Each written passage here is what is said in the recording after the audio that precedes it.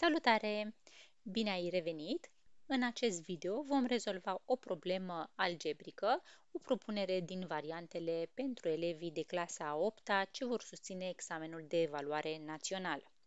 În tabelul următor sunt prezentate datele celor trei războaie punice purtate între Roma și Cartagina.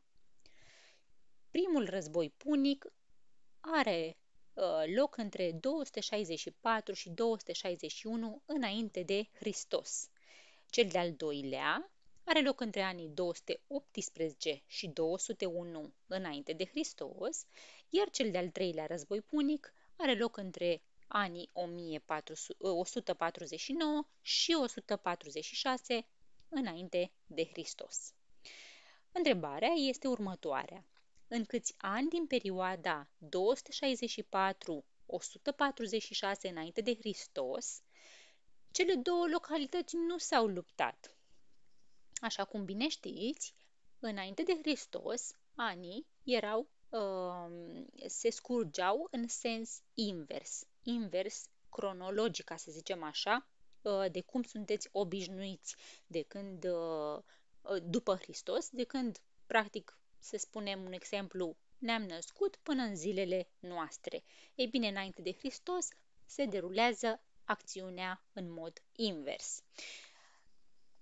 Trebuie să calculăm perioada în care nu s-au dus lupte și astfel vom lua perioadele de uh, lipsă, ca să spun așa, între uh, războaie. În 241, atenție, a existat război, astfel că noi trebuie să luăm celălalt an, 240, până în 218. Diferența o reprezintă 22 de ani. Iar în cealaltă perioadă, de asemenea, 201 a fost un an în care a existat război.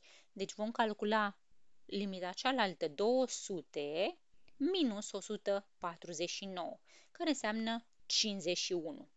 Făcând suma dintre cele două uh, uh, valori pe care le-am aflat, uh, vom afla perioada în ani în care nu s-au purtat războaie. 22 plus 51 egal 73 și astfel obținem varianta de răspuns, varianta C trebuie să fiți atenți cum faceți această scădere. Nu uh, este corect dacă spuneți de la 241 până la 218, de exemplu, pentru că, așa cum am explicat, în 200, anul 241 aia s-a purtat un război. Da? Deci acesta nu trebuie să fie inclus în interval. Aceasta a fost propunerea pentru acest video. Este pe cât de ușoară, pe atât de logică, dar uh, necesită o atenție uh, sporită, bineînțeles, pentru că foarte ușor puteam greși la acești ani și să selectăm o altă variantă de răspuns. Până data viitoare, îți urez spor la teme! Pa, pa!